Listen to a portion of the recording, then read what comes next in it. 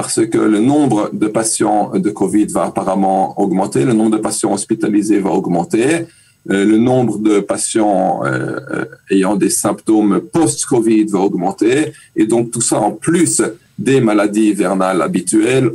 déjà pour l'instant, la situation est très difficile, elle ne fera que devenir encore et encore plus difficile.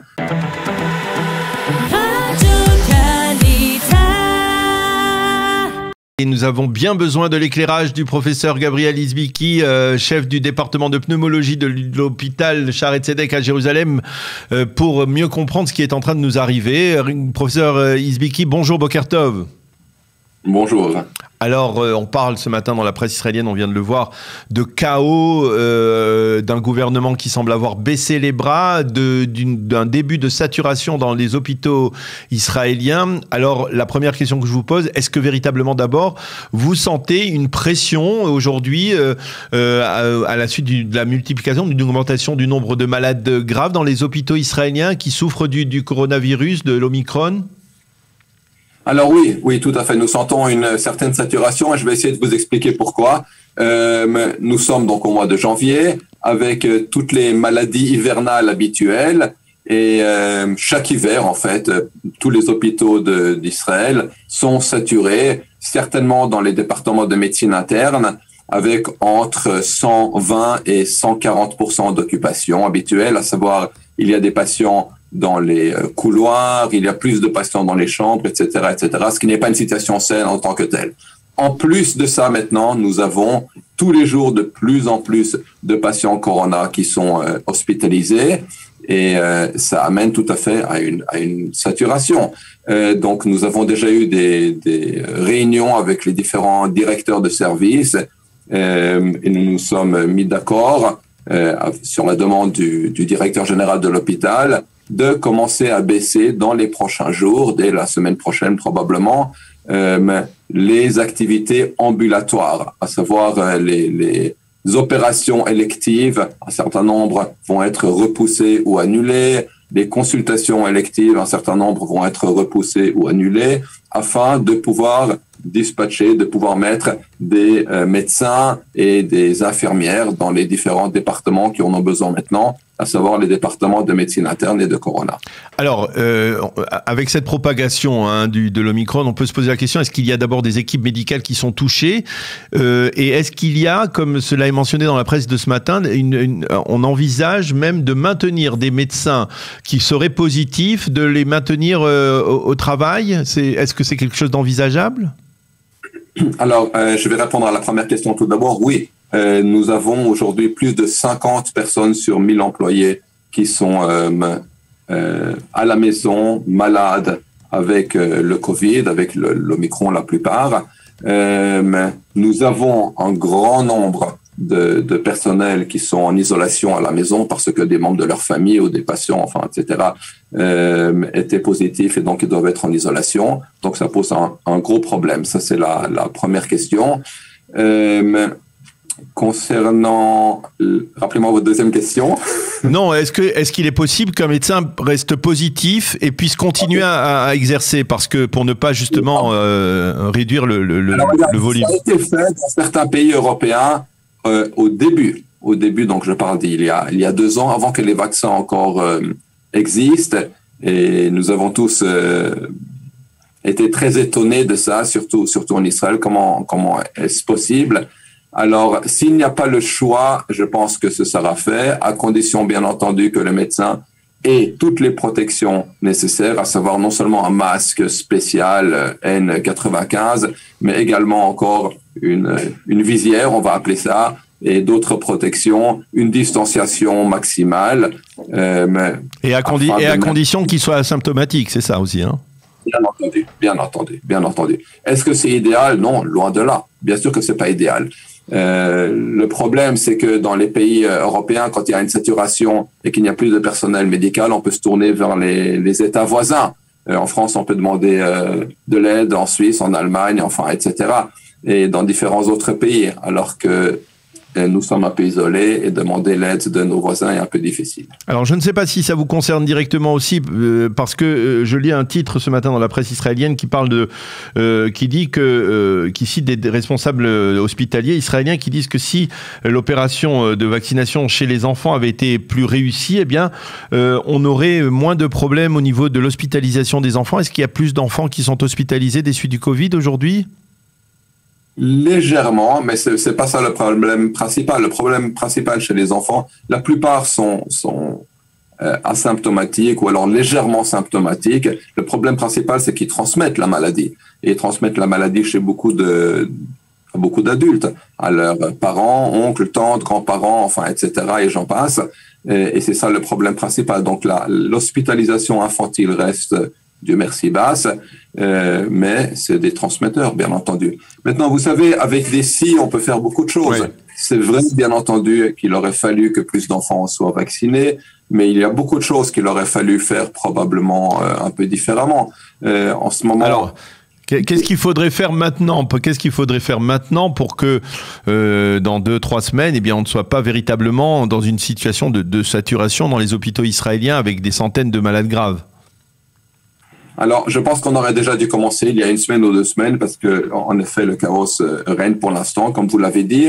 Euh, il faut, oui, avoir certaines mesures. On ne peut pas tout simplement laisser la, la pandémie se propager et dire c'est l'Omicron. Apparemment, la plupart des personnes, surtout celles qui sont vaccinées, auront une maladie légère, donc euh, c'est égal. Et on aimerait euh, peut-être même que la plupart de, de, la population, la majorité de la, de la population soit atteinte. Non, il faut euh, des mesures pour diminuer, on ne peut pas l'arrêter, mais pour diminuer cette propagation, à savoir éviter les rassemblements trop importants à l'extérieur, le port du masque, euh, dès que tout le temps à l'intérieur et à l'extérieur, dès qu'il y a un rassemblement de plus de 10, 20 euh, ou 50 personnes à, à définir.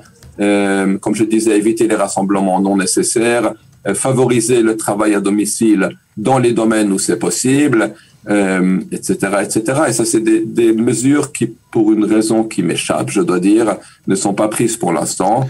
Euh, et je trouve ça très dommage parce que vous vous êtes vous, vous, vous, vous avez aussi ce sentiment que le gouvernement euh, a, a, baissé les bras comme le disent certains responsables que finalement il est il espère régler la crise à travers une forme d'immunité collective? Pour être honnête, je peux pas vraiment vous donner les, les raisons de la politique du gouvernement parce que je les comprends pas moi-même en termes de, de euh, pandémie et de, de, de Covid et d'Omicron. J'imagine que c'est ça la raison, comme vous dites, à savoir qu'ils espèrent que le maximum de personnes euh, soient atteintes en euh, se basant sur le fait que, que apparemment la maladie euh, est une maladie euh, légère chez les gens vaccinés. Mais je pense que c'est une loterie russe et on n'a pas le droit de, de, faire euh, une loterie sur le, le, dos et sur la santé et sur la vie euh, d'une population. Alors, euh, on, on, a beaucoup parlé euh, au cours des, on, a beaucoup parlé au cours des dernières semaines de de, de la de la capacité des, des, des, hôpitaux israéliens. Et, et, je me souviens d'un Naftali Bennett qui il y a quelques mois avait parlé d'insuffler dans le système hospitalier israélien il était question, je pense, à l'époque de 2 milliards et demi de, dollars, de shekels pour permettre, on va dire, plus de euh, professionnels, pour, pour, insuffler, on va dire, plus de personnel euh, spécialisé. Est-ce que vous, vous, avez remarqué une augmentation euh, dans votre hôpital ou alors est-ce que le fait que l'hôpital à Charet Sedek, c'est un hôpital, on va dire, privé, pas, pas, pas gouvernemental, c'est plus difficile?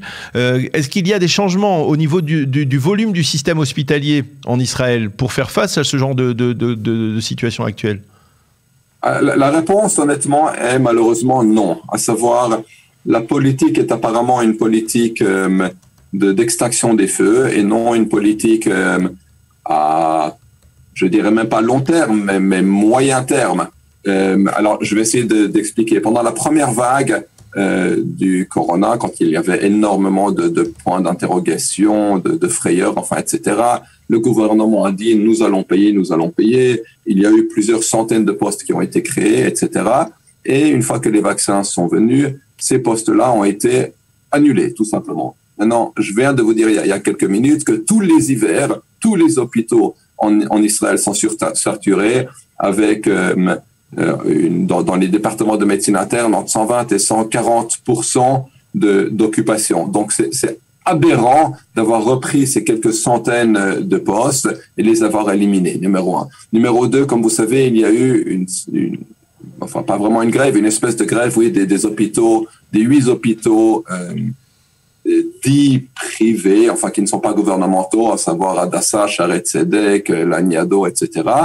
Euh, parce que euh, le gouvernement avait arrêté, en fait, l'ancien et le nouveau, euh, de verser toute aide à ces hôpitaux.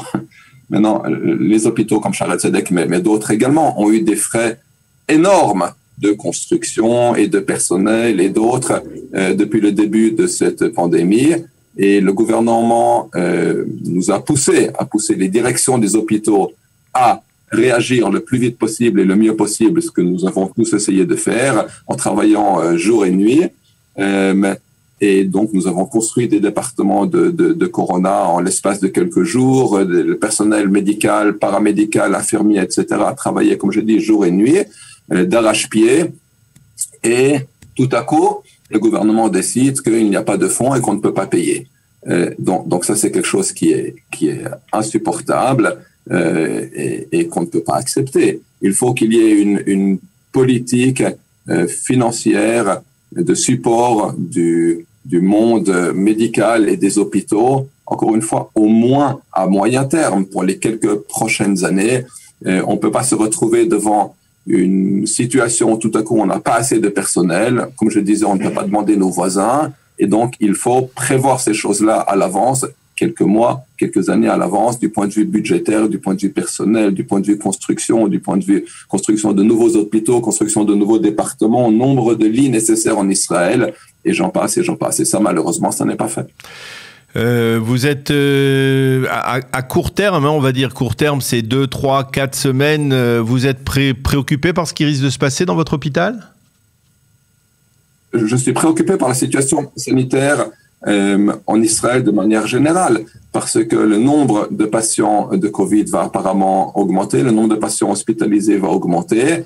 Euh, le nombre de patients euh, ayant des symptômes post-Covid va augmenter. Et donc tout ça en plus des maladies hivernales habituelles, en plus de toutes les maladies habituelles.